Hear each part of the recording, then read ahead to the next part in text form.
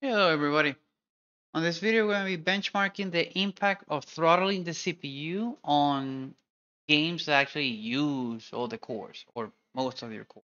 So here we're testing Cyberpunk because it's, well, for me, it's the only one that actually uses all the cores or detects all the cores. It's not like Counter-Strike, which is like one core. No, just kidding. It detects others, but not that many.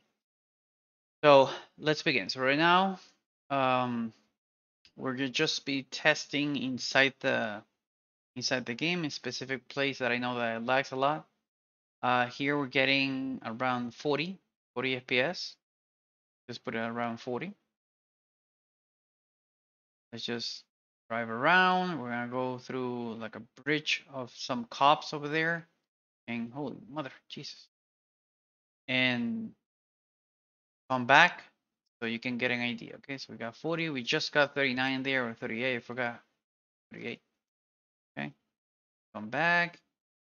Do remember that because I'm showing Mango HUD plus recording on OBS, I do lose a couple of FPS points there. Reality, just add like two more, maybe three more, and that's it. Okay, so coming back. That's it. During all that, you saw that the CPU was being used. Well, you can see the, the CPU usage at the top. So we're talking what, 25%, less than 50%. Okay. Come back here and there's a CPU throttling tool uh, by konkor that you can find on the GNOME um, extensions. I'll put the link in the description here that you can control your CPUs. It actually detects all my CPUs properly. I'm going to put this in 50 and we're going to see the impact of basically putting losing 50% of the power that I could have with this throttling to 50%. Why would some people do this? Because of the temperature. See the temperature is going down like really fast.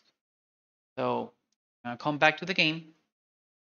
Okay, now we're throttling to 3 giga, gigahertz instead of 5 point something. I actually I was able to actually get it to 6 gigahertz. That, that scared the hell out of me. But anyway, you can see that we went from 40 to 35. 4. Basically, we dropped um, a lot. I mean, compared to that 40 that we were used to. I can actually feel the lag. I can feel like the game is a little bit heavier now.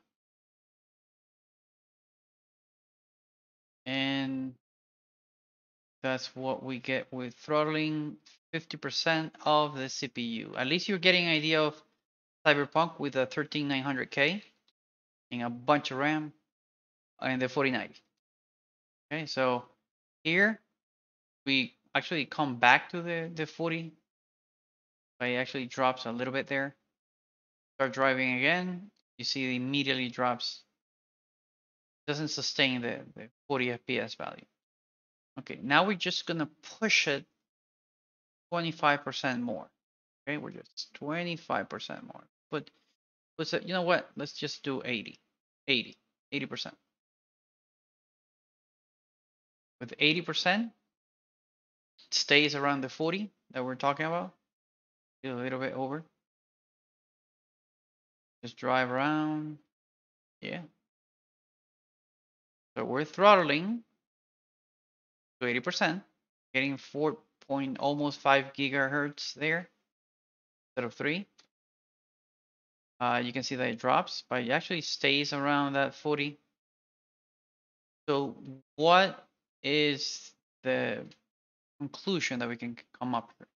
Based on the game, it really depends on the game. Not, not so much if you're benchmarking the, the computer or you're running very intensive CPU apps like rendering um, or multi-threading threading uh, rendering, but mainly games. Okay, in this case, if the game engine does not support all CPUs, just a couple, you do not need to throw the whole CPU power to it. You can throttle that down. You can actually drop the, the temperature uh, on the CPU. I'm actually getting 66, 67. Before I was getting what 90 or something before um, doing this video. So I want to show you what could happen if you actually throttle there. So we're getting the same FPS value, but with less uh, temperature on the poor CPU. So let's let's drop this a little bit more to 70 here. Okay, let's see if, uh, what I want to. Yeah, exactly. That's what I want. So around 50, 50 degrees. So let's come back in the game again. We're again around 40. Look at the CPU temperature. It's around 57, 56. What the hell happened to that car? Um, yeah, the CPU is lower than the temperature of the GPU. And we're still around the same FPS value. This CPU is very powerful. That, that's all I can say. So again, we're around that, no impact in the performance of the game. All cool, and we actually dropped, I mean, we could say we dropped 50% of the temperature in one go without losing any FPS value. Now let's push the hell out of it to 100% again. And let's see how that monster behaves.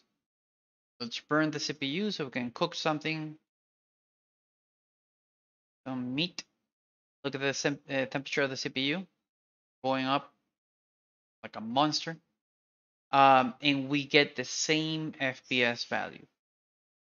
So for 70, 80 of the performance of the CPU, the throttling there, we still get the same performance. We're just getting the same one, but we do get 30 degrees more,